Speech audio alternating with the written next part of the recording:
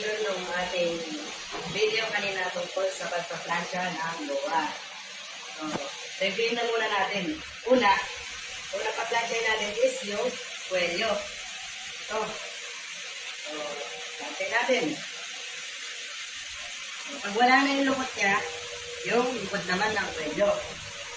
Kasi natin. Pag wala na yung lukot yan, Pangalawang pa-planchay natin is yung manggas. Left and right po yan. Ensure natin na nakagitna yung logo ng TNT. Nakagitna siya na ganyan, yung hati niya. Naka-align siya doon sa guhit. Kaya napaka-importante ng marunong manahi kasi yung guhit na sinusundan yan. So, planchay natin. So, assume na na-plancha na. Ganun din sa likod. Uh, ganun din yung gawin nyo sa kabilang manggas. So, pagka plancha na yung mga, yung lining dito sa, yung buwelo at saka yung lining dito sa manggas, isasabit natin. Ang purpose nito is para sabitan ng polo. Parang ganito. Yan.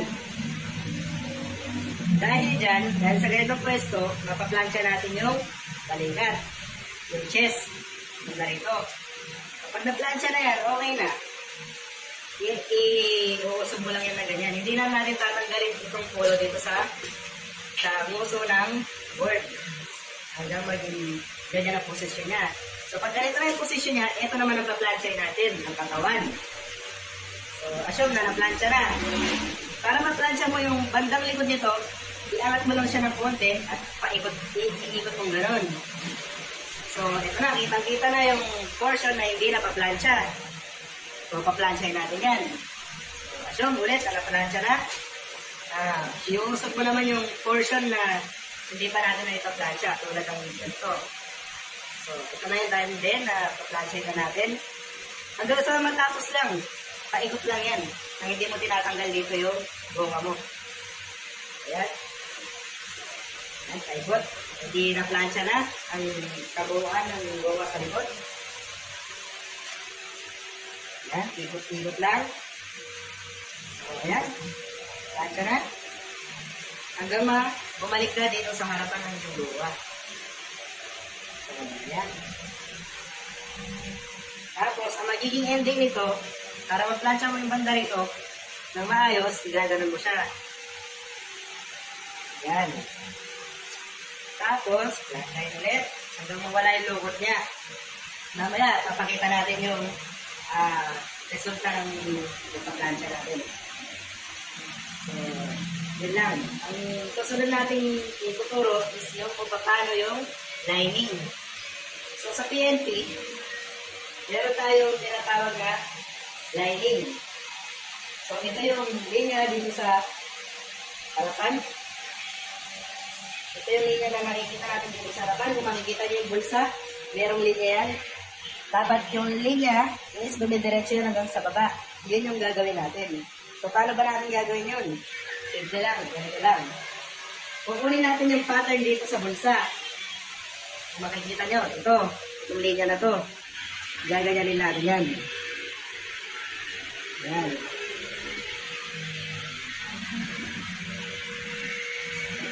Pagkakalinya na, tutupin natin yan.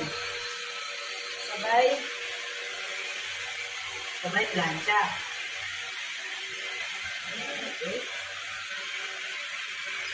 Ganon din yung gagawin nyo sa kabilang side. So, sa, ang susunod naman is yung sa likod. Sa likod, meron tayong tatlong linya. Kailangan, na, kailangan yung tatlong linya na yun ay na-emphasize. Pati na rin yung linya sa harap. Nakalimutan ko lang banggitin. So, dito, kung makikita nyo, meron tayong tahi dito. Yan yung susundan natin linya. So, yan. Pagpulit natin siya. Ayan. Tingnan natin. Kailangan na eh, pasay sa mga linya na ito. Karami, napakahigpit na ito. Pwede mo ikaliar yan. Ang hindi pagpaplansya, pwede mo ikaliar talaga yan. Ayan. So, plansyahin mo lang yan. Ayan. Kailangan, guys, tansyado nyo yung init ng plancha para uh, makuha niyo yung ano, yung tigas ng kanto para ma-emphasize talaga yung uh, pagpaplansya at saka yung kanto niya. Ganon din yung gagawin natin sa linya dito. Diba? Meron din siyang uh, pinagtakihan dito. Susundan nyo lang yan. Gigitna nyo lang. Nakagitna siya dun sa, naka-align siya. Kung makikita nyo, naka-align siya dun sa guhit ng luwa. Diba? Parehong proseso lang. Siya? So, kapag nakita, na, nakita nyo na hindi na siya lukot, matigas na yung, nakalitaw na yung lining niya, uh, ganun din yung gagawin natin dito sa gitna. Lipat naman tayo sa gitna. Ayan. Hmm. Ganun din, parehong proseso lang. Para mapakahirap pero nakakagadali lang. Kailangan mo lang maging matyaga sa pagpaplansya.